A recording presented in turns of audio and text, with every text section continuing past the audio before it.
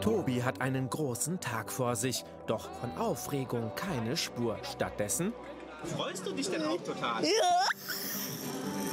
Der Tobi liebt es, mittendrin zu sein und auch sowas zu präsentieren. Er ist immer gut drauf und ähm, also ich finde es ich find's toll, dass wir Teil davon sein können und auch was zurückgeben können und äh, allen irgendwie zeigen, dass, dass es irgend, ja, normal ist, irgendwie auch äh, dazuzugehören. Und, oder? Ja.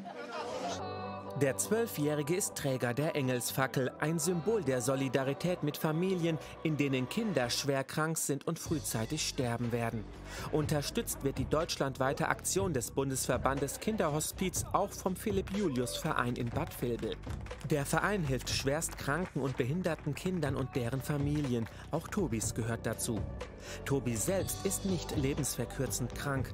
Den Kinderlebenslauf als Fackelträger zu unterstützen, ist für ihn eine klare Sache. So äh, sind wir schon seit ein ganz paar Jahren ähm, bei Philipp Julius integriert und dadurch kam auch der Kontakt, dass äh, eben gefragt wurde, ob der Tobi das äh, übernehmen würde, die Fackel zu tragen und nach Wiesbaden zu bringen. Und er war sofort Feuer und Flamme und ich musste schon äh, Wochen vorher dann die Genehmigung bei der Schule einholen, weil er da unbedingt mitmachen wollte. Rund 50.000 Kinder in Deutschland sind lebensverkürzend erkrankt. Der Einsatz der Kinderhospize ist da sehr wichtig. Es geht bei dem äh, Kinderlebenslauf darum, äh, dass auf die Arbeit der Kinderhospize und der ambulanten Kinderhospizdienste aufmerksam gemacht wird. Es gibt sehr viele Kinder, die chronisch oder lebensverkürzt erkrankt sind in Deutschland.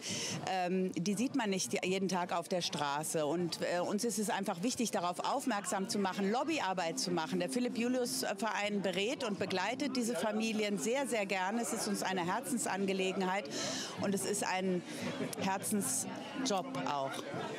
Alle, die den Lauf unterstützen, machen das ehrenamtlich. Darauf sind Vereine wie Philipp Julius und Kinderhospize angewiesen.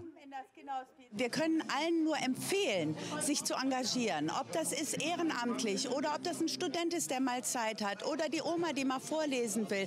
Wir können alle nur wirklich aufrufen, sich zu beteiligen. Man schenkt Freude, aber man bekommt das doppelte, dreifache zurück.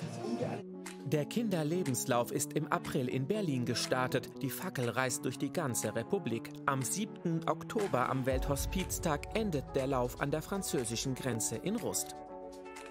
Tobi hat die Etappe von Bad Vilbel nach Wiesbaden, um die Fackel an das Kinderhospiz Bärenherz zu übergeben.